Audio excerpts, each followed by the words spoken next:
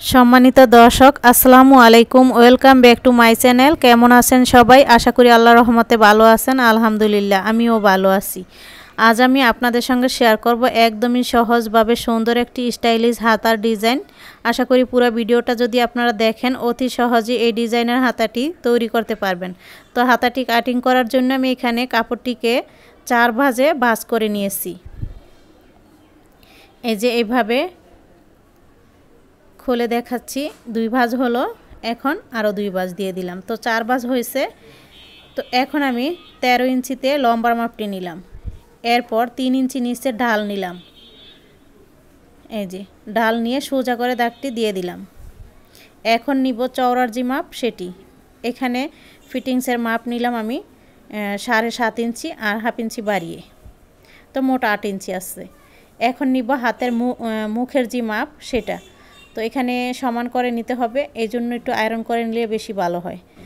কাপড় যাতে কুচকিয়ে না থাকে, সেদিকে খেয়াল রাখবেন। তো মুখের মাপটি কিন্তু আমি সাড়ে পাঁচ নিয়ে, এরপর একটু বাড়তি নিয়ে, এরপর দাগটি এইভাবে করে মিলিয়ে দিলাম। তো আশা করি আপনারা হাতা কাটিংটা বুঝতে পারছেন, কারণ নিচের ঝুলটা আমি পরে আপনাদের কেটে দেখাবো। তো এই তো, এখন আমি এইভাবে করে কেটে নিচ্ছি। তো উপরের অংশটা কিন্তু কাটা হয়ে গেল।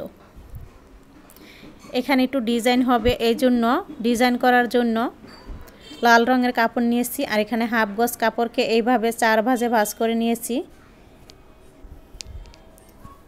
এরপর হাতের যে মুখের মাপটি সেটি এইভাবে বের করে নিতে পারেন বা চাইলে ফিতা দিয়ে মেপেও কিন্তু নেওয়া যায়। তো এইভাবে বেশি সহজ হয়, এই জন্য আপনাদের সঙ্গে এটাই শেয়ার করলাম। এরপর কতটুকু নামতে নেবেন ততটুকু আর কি দেখাচ্ছি। তো এখানে সাড়ে ছয় ইঞ্চি আছে। তো সাড়ে ছয় ইঞ্চি পুরোটা নিয়ে নিচ্ছি। কাপড় চওড়াটা আরও বেশি থাকলে আরও বেশিও নেওয়া যায়। তো পানা যতটুকু ছিল ততটুকুই কিন্তু নেওয়ার চেষ্টা করলাম। তো এভাবে কিন্তু কেটে নিচ্ছি নিচের ঝুলটা।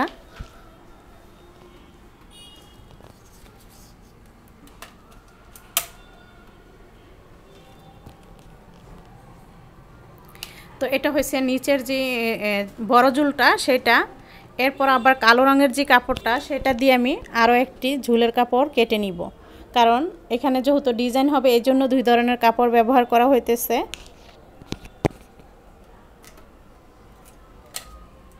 তো এই তো আমি কালো রঙের কাপড়টা একটু কম নিয়ে কাটবো, পাঁচ ইঞ্চি নিয়ে, এরপর এভাবে করে চিহ্ন দিয়ে এরপর কেটে নিব। আর এভাবে চওড়াটাও কিন্তু একটু কম নিতে হবে।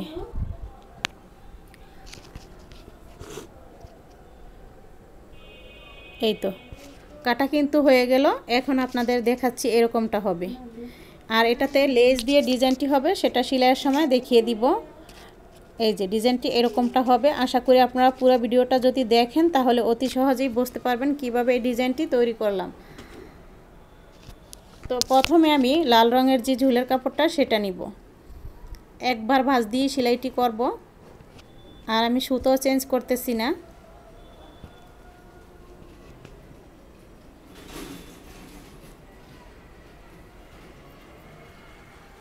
যারা ভিডিওটাতে ক্লিক করেছেন প্লিজ পুরো ভিডিওটা আপনারা ধৈর্য সহকারে দেখবেন, তাহলে অতি সহজে বুঝতে পারবেন। যদি কোথাও না বুঝেন রিপিট করে দেখবেন, আর কমেন্টের মাধ্যমে আমাকে জানাতে পারেন, আমি আপনাদের বুঝিয়ে দেওয়ার চেষ্টা করব। তো এখন আমি একবার সেলাই দেওয়ার পর লেসটি সেলাইয়ের উপর দিয়ে এইভাবে সেলাই করে লাগিয়ে নিব।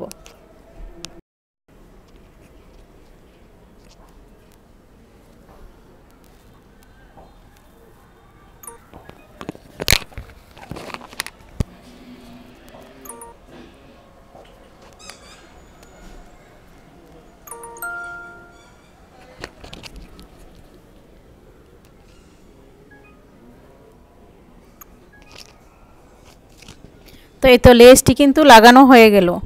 এখন কালো রঙের কাপড়টাতে সেমভাবেই লেসটি লাগিয়ে নিব, তবে এটার একটা ফাড়া হবে যে সামনে। তো সেইখানেও কিন্তু লেসটি লাগিয়ে নিব। দেখতে থাকুন।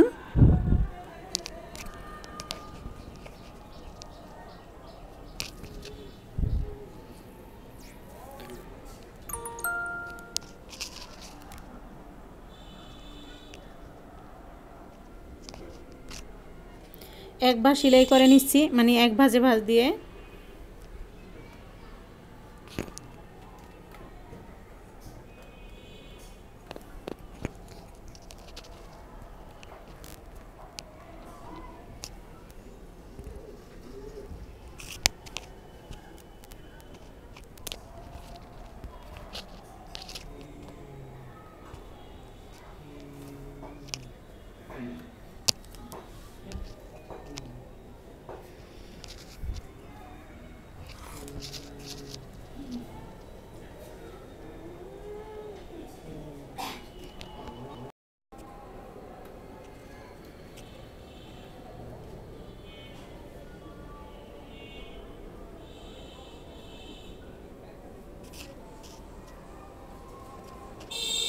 তো এই যে ফাড়াটার এখানেও কিন্তু লেসটি এইভাবে লাগিয়ে নিলাম। পরে আমি জয়েন্টটুকু কেটে নিব। তো এরকমটা হবে, আশা করি আপনারা ডিজাইন টের ফাড়ার যে অংশে লেসটি লাগালাম সেটাও বুঝতে পারছেন। তো এরকমটা হয়েছে, এই যে কেটে নিলাম। এখন আমি লাল রঙের যে ঝুলের কাপড়টা সেটার উপরে এভাবে ভাজ করে রাখব, রেখে এরপর সেলাই দিয়ে আটকে নিব।